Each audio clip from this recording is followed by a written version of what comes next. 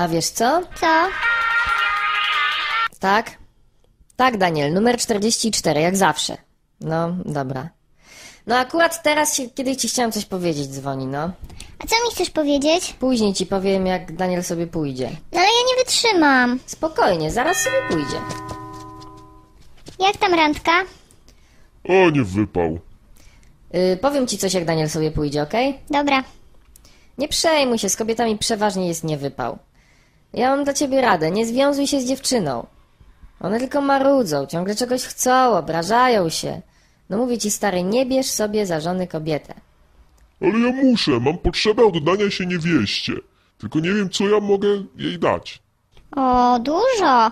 Możesz przynosić jej słoiki z piwnicy, Yy, pościel zmieniać, pożyczać długopis. zanosić mocz do analizy, Misiu!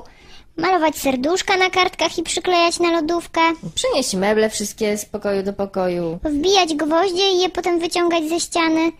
Yy, powiem ci coś, jak Daniel sobie pójdzie, okej? Dobra. No to co tam jeszcze u ciebie? A no nic, tak sobie przyszedłem zobaczyć, co u was. Yy, powiem ci coś, jak Daniel sobie pójdzie, okej? Dobra. No dobra, dobra, idę sobie. No to co mi chciałeś powiedzieć? Chciałem cię zapytać, dlaczego jak masz orgazm, to śpiewasz przeważnie to samo i dlaczego akurat to? A co ja śpiewam? To ty nie wiesz? No nie wiem, bo ja podświadomie śpiewam. Podświadomie. No proszę, a kiedyś mi mówiłaś, że nie masz podświadomości. Oj, chyba mam. I wiesz, że śpiewasz, ale nie wiesz co. No tak. To teraz ja ci już na pewno nie powiem. Dlaczego? Bo zdałem sobie właśnie sprawę z tego, że kiedy masz prawdziwy orgazm, śpiewasz zawsze to samo, a potem, że śpiewasz coś innego niż zwykle, wiem, że udajesz.